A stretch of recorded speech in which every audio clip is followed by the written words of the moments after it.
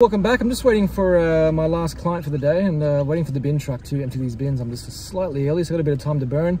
Uh, so I just want to talk about um, what you should be doing when you so when you start a bin cleaning business. So the very first thing you should be doing before you start, before you invest money in equipment, time, before you quit your job, spending shirts, uniforms, uh, materials. Uh, the trailer's going to cost you some money as well. The very first thing you should be doing is actually see if there's a business there for you.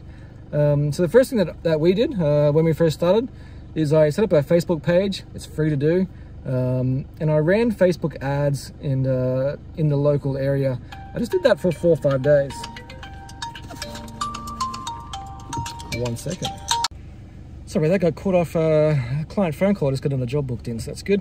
Um, so yeah, so one of the one of the things you should be doing when you first start, the very first thing is is running Facebook ads. Do a Facebook page, um, a Facebook page, business page. Easy to do. If you're not sure, let us know. We could probably help you out with that.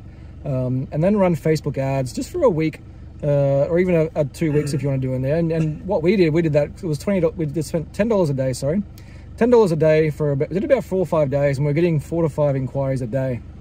And that was sort of enough for me to go, okay, there is something here. Um, if I can get this marketing in front of the right people and do it often enough, I'm gonna have a good solid business here. So then I went out, did, the, did my research, um, and invested in uh, in building the trailer and, and getting everything else going. And and then once we had that, the ABN, the insurance and everything done, uh, we all full steam ahead and uh, redid the Facebook page, redid our marketing and all our materials and all our branding, and uh, and off we went and uh, created the business.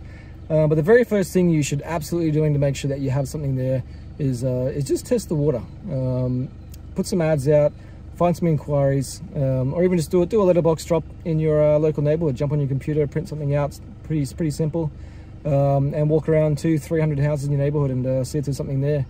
Um, and then even if you if people do pick up jobs and you haven't got the equipment, the first couple of jobs I just threw bins in the back of the ute, went home, gave them a spray, and took them back, and the customers were happy. So that's how we sort of did the first few weeks until I had the trailer built. Um, but you don't want to be jumping in if, the, if you don't know there's something there. So test the waters um, see if there's a business there for you, um, and then jump on board and go hell for leather. It's good fun.